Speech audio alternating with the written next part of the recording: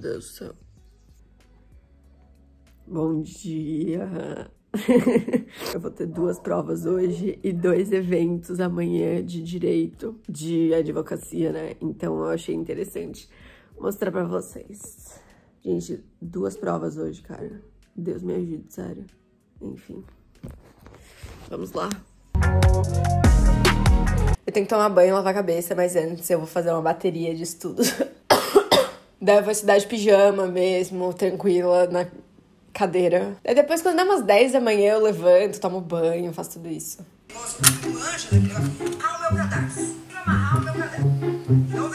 Meu Deus do céu!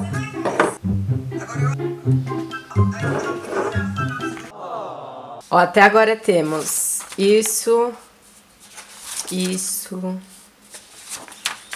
Parei nessa parte e, pra ser sincero, eu nem sei quanto que falta pra eu terminar a matéria. Vamos ver, né? Vamos sentir aí como é que tá. Pessoal, lembrando que eu deixei alguns resumos disponíveis, tanto da faculdade de Direito quanto da de Administração, e todos estão abaixo de 15 reais agora, então quem quiser, o link tá aqui embaixo. São todos resumos que literalmente eu fiz para eu mesmo usar, e vocês sempre me perguntam como que eu estudo, então tá aí a resposta para vocês verem. Tomei um banho para quebrar um pouco da manhã, assim, no meio, preciso lavar esse óculos, mas é isso, estamos em dia, agora bora seguir com o resto das aulas. Claramente já estou mais animada. Funcionando funcionando é a palavra. Porque de manhã, tipo, na hora que acorda, não, não funciona. Mas enfim, vamos lá, que ainda falta bastante de obrigações. E, cara, eu tô assim, ó, eu tô estudando obrigações, sendo que minha prova de gestão de empresas é antes. A prova de GEP é 4 horas da tarde, a de obrigações é às 7. Mas gestão de empresas eu vou só dar uma lida no que eu já escrevi, tipo, passando assim os slides e lendo, vai ser bem por cima. E obrigações eu quero realmente me aprofundar, então é por isso que eu não tô fazendo na própria ordem que vão ser as provas, entendeu? Gente, isso aqui a Cris fez um creme com abacate e grão de bico. Eu coloquei um queijinho embaixo e tá maravilhoso. Tudo com sono, cansada, mas com fome. Impossível. Bom, passou um tempo, inclusive o dia abril tá maravilhoso agora.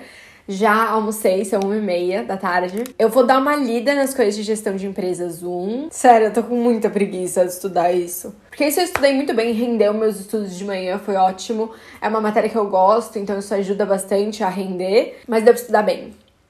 Agora eu vou tirar gestão de empresas da frente, porque como é uma coisa que eu tô com muita preguiça de fazer, eu tenho que fazer logo, ao invés de ficar jogando pra frente, entendeu? É isso.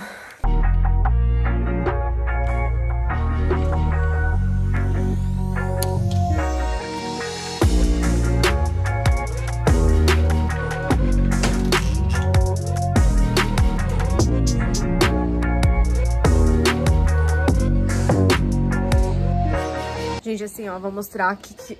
Olha o que eu fiz pra estudar pra gestão de empresas. O que acontece? Eu tenho um resumo lá lindo, maravilhoso, feito, que eu escrevo durante a aula, uso meu tempo e tal, super organizado. E eu fui lendo e peguei as coisas de lá que eu não sei, ou seja, que não, tipo, tão realmente na minha mente, e reescrevi nos post-its, daí eu grudei os post-its nesse negócio aqui. Porque não tem a mínima necessidade de eu reescrever tudo. Eu já tenho um resumo lindo, maravilhoso ali, entendeu?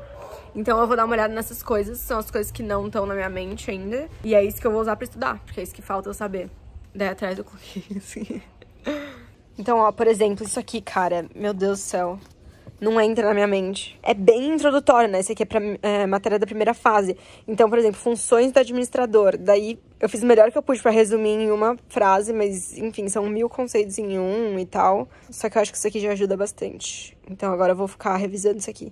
Eu fiquei estudando no modelo ensino médio, assim, quando você fica lendo para si mesma, explicando para si mesma, para tentar memorizar, e é uma coisa que realmente funciona, tá? Você tem que explicar o termo para você repetidas vezes. Não vou mentir, isso aqui daria uma soneca perfeita. Meu Deus do céu. Nunca na minha vida que eu cheguei tão cedo pra aula, faltam três minutos para começar. Eu vou só ler isso aqui rapidinho, já entro correndo no prédio. Vai ser minha garrafinha, meu estojo, isso aqui e acabou. Alguns momentos depois. Não tem jeito, cara. A mãe sabia tudo. Só tinha uma questão que muito provavelmente ele passou em alguma aula e eu faltei, é, que era sobre a evolução dos cursos de administração no Brasil. E daí eu mega chutei isso, né? Tipo, eu coloquei umas coisas que vieram na minha cabeça, que eu acho que são verdade, mas não foi baseado em nada que ele disse. Mas essa foi a única coisa. E eu acho que o professor é bacana, tipo, acho que ele vai considerar o que eu falei. Sei lá.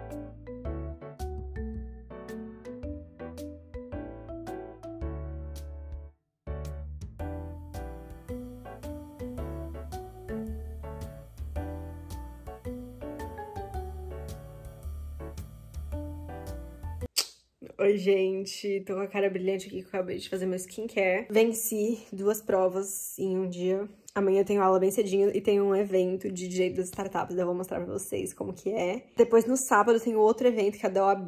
Enfim, eu tenho bastante coisa massa ainda. Coisa massa pra mostrar, só que a primeira batalha está vencida.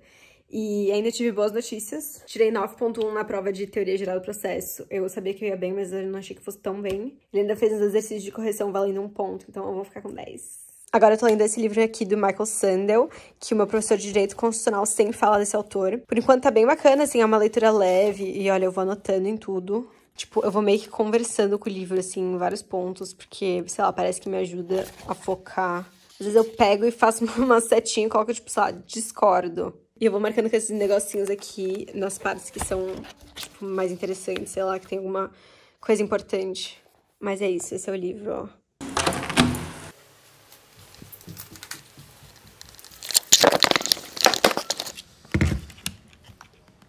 Cara, eu acabei de chegar da aula de negócios internacionais que eu faço na que são 11 horas da manhã. E, meu, eu amo essa aula. Ela é em inglês, então tem um monte de intercambista assim na sala. E tudo bem que pega a manhã inteira, então é muito cansativo, porque são muitas horas seguidas de aula, são tipo, sei lá, 3 horas e meia com o mesmo professor ali. Mas ao mesmo tempo, cara, é muito interessante. E tipo, porque assim, o professor, a carreira dele não é dar aula. Ele trabalhou muito com isso na vida dele. Então ele tem realmente a visão prática, ele não tem a carreira de ser professor.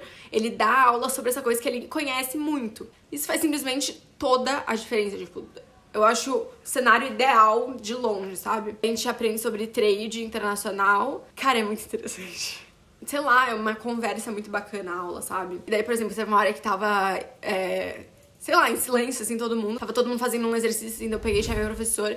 Daí eu perguntei pra ele uma coisa que é sobre a competição com a China, assim. Eu cheguei e falei, cara, se eu tivesse capital, eu nunca abriria, por exemplo, uma empresa têxtil no Brasil, por causa dessa competição com a China. Então, como que a gente pode imaginar, tipo, o futuro da indústria do nosso país com essa, esse nível de competição global, sabe? Até em questão de política pública, como que a gente pode lidar com isso, as empresas daqui, o governo daqui na sua opinião, de uma pessoa que conhece tanto sobre isso, o que, que você tem a dizer, sabe? Ele trouxe uns insights muito interessantes assim, sobre a diferença de tecelagem e de confecção, que a gente não é competitivo no cenário de confecção, porque tem muito mais mão de obra.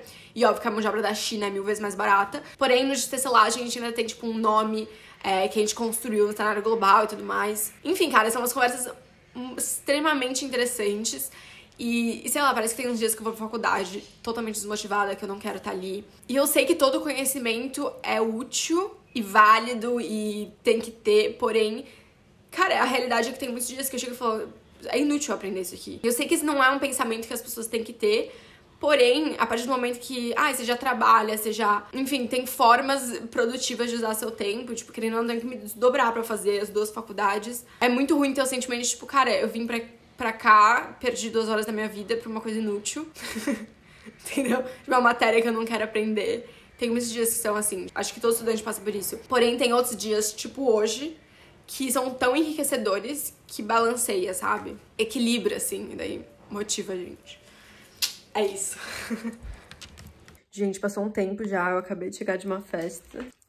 Já tirei o salto, mas tô assim, e daí eu vim explicar o que aconteceu. Que assim, eu tinha dois eventos nessa semana. Um era uma palestra sobre direito de startups. Tem uns amigos meus que fazem parte de um grupo de estudos de direito das startups e é integrado com alguns escritórios, assim, bem legais. E eu falei que eu ia, tipo, tava tudo combinado, só que daí eu acabei sendo liberada mais cedo da UDESC aquele dia. Então, ou eu voltava pra casa, e daí eu ia ter que sair de novo de casa e ir, tipo, pro outro sentido, ou eu ia ter que esperar uma hora na Universidade Federal. E eu não tinha computador pra fazer nada, então eu ia ter que ficar uma hora lá, tipo, moscando no celular, assim. Daí eu cheguei e falei, cara, não dá, tipo, nenhuma das duas opções, entendeu? Então eu acabei não indo. E no sábado tinha um evento da OAB, da comissão de acadêmicos da OAB que faz parte. Só que não era na minha cidade, na cidade do lado, tipo, leva bastante tempo pra ir. E eu ia com a minha amiga, e daí ela cancelou. Então eu não ia, tipo, sozinha pra outra cidade, sei lá. Então é isso, acabou que nenhum dos eventos eu fui. Mas tudo bem, eu vou continuar mostrando, assim, como é a minha semana. Amanhã é feriado, né? Mas é isso. Não vou conseguir mostrar os eventos, mas, tipo, tô estudando normal e tal. Vou continuar mostrando a rotina. Agora eu vou tirar tudo isso aqui, tomar um banho e dormir.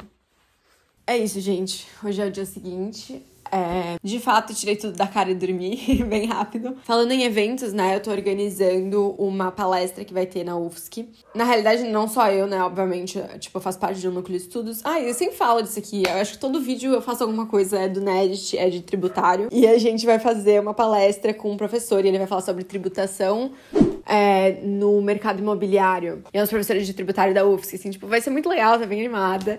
E daí a gente, óbvio, né, tipo, organiza. Quem faz parte de grupo de estudos de enfim, grupos da faculdade, sabe? Que geralmente tem, tipo, as áreas, assim, né? Só que o nosso não tem uma galera que faz só eventos, assim, tipo, um cargo de eventos, que nem muitas, sei lá, Atlética tem, DA, esse tipo de coisa. A gente só vai se organizando, tipo, ah, essas duas pessoas cuidam desse evento, essas duas desse, não sei o quê. E daí eu e uma outra menina, a gente tá cuidando desse evento, então ela tem que fazer umas artes no Canva. Até tem uma pessoa que faz as artes, mas sei lá, pra não sobrecarregar a menina, assim, eu... enfim, vou fazer. E daí já mando pra essa colega que tá organizando junto. Essa filmagem aqui não é de dia de semana, né? Essa filmagem é do sábado de manhã, mas eu decidi terminar de ler o livro do Michael Sandel, chamado Justiça, e depois eu fiquei com saudade de estudar algumas coisas.